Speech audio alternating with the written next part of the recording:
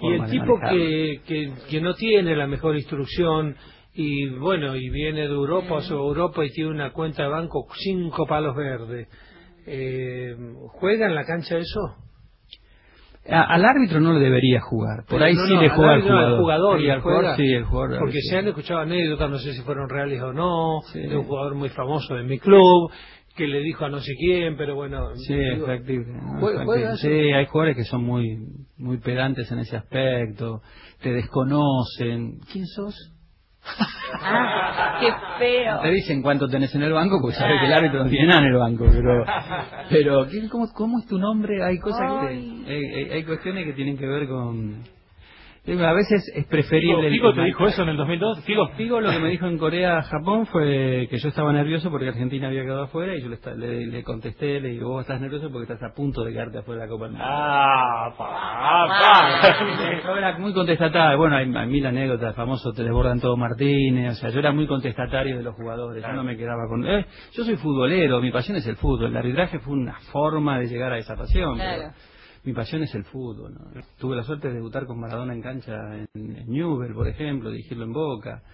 dirigía al Boca de Bianchi, dirigía al Vélez de Bianchi, dirigía al Vélez de Bielsa, dirigía al Independiente de Brindisi, dirigía, o sea, te hablo de los técnicos para nombrarte los jugadores, al River de Ramón Díaz, muchos jugadores de prestigio, en San Lorenzo Gorosito. El mejor que viste. No, no es que sea el mejor del el mejor que viste vos, así, que lo viste pasar con la, con la pelota en los pies. Maradona. Maradona. Sí, olvídate. Maradona. Después Riquelme. Riquelme. Mira. Sí, después Riquelme. No Francescoli.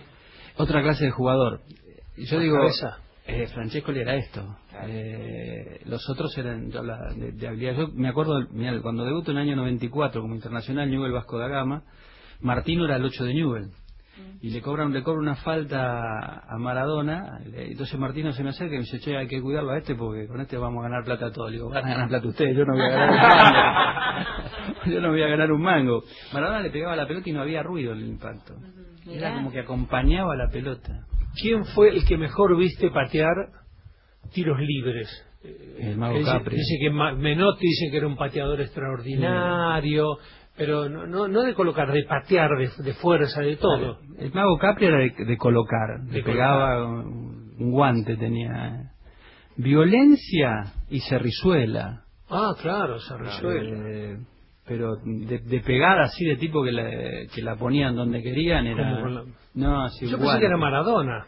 Sí, pues yo Maradona lo dirigí y después cuando vuelve, yo después lo dijo como técnico de Mandillo de Corrientes, como técnico de Racing y después vuelve a jugar Maradona y lo dirijo en Boca. Claro. Y ya Maradona era otro Maradona, era más eh, más complicado, más eh, yo me acuerdo del famoso central Boca que era Penalel y Canigia.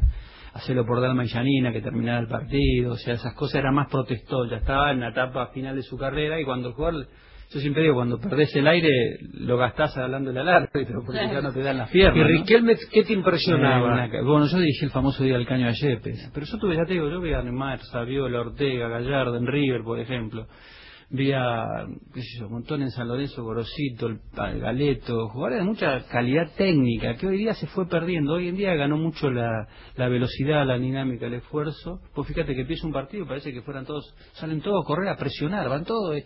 Antes no se jugaba tan así. Más europeo.